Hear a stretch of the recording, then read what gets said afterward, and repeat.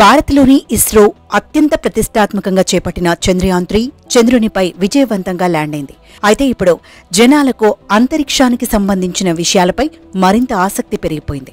చాలా మంది అంతరిక్షం గురించి అందుకు సంబంధించిన విషయాలు తెలుసుకునేందుకు గూగుల్లో సెర్చ్ చేస్తున్నారు. వారికి కావాల్సిన సమాచారాన్ని సేకరిస్తున్నారు. గూగుల్లో వారికి తలెత్తుతున్న అనేక ప్రశ్నలు అడుగుతున్నారు.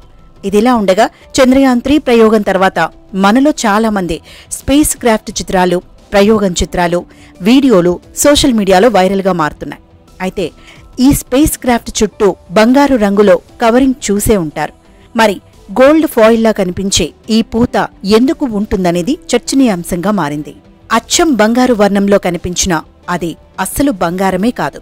అలాగని ఫాయిల్ కూడా కాదు.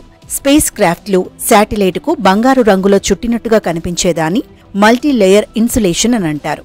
ఉష్ణ నిరోధంగా దీన్ని వాడటం జరుగుతుంది. ఆ ఫిల్మ్ను అనేక పొరలుగా చుడతారు. రెండు వందల డిగ్రీల సెంటిగ్రేడ్ నుంచి మూడు వందల డిగ్రీల సెంటిగ్రేడ్ ఉష్ణోగ్రతల నుంచి కూడా రక్షణ కల్పించేలా వీటిని తయారు చేస్తారు. ఇక పైన కనిపించే పొర బంగారు రంగులో ఉన్నప్పటికీ లోపల తెలుపు వెండి రంగుల్లోనూ పొరలు ఉంటాయి. కాగా ఈ బంగారు రంగు ఫిల్మ్ను పాలిస్టర్తో తయారు చేస్తారట. దానిపైన అత్యంత పలుచని అల్యూమినియం పొర కూడా ఉంటుంది.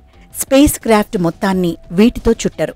రేడియేషన్కు గురైనప్పుడు పాడయ్యే అవకాశం ఉన్న భాగాలని దీంతో కవర్ చేస్తారు. అంతరిక్ష ధూళి కారణంగా స్పేస్ క్రాఫ్ట్ పరికరాలపై ఉండే సెన్సర్లు దెబ్బతినే ప్రమాదం ఉంటుంది. అలాంటి ప్రమాదం నుంచి తప్పించడానికి కూడా ఈ షీట్లు ఉపయోగపడతాయి. అదేవిధంగా అలాంటి సున్నిత భాగాలు ఎన్నున్నాయి అనే దాన్ని బట్టి ఎంత ఫిలిం పేపర్ అవసరం అనేది ఆధారపడి ఉంటుంది.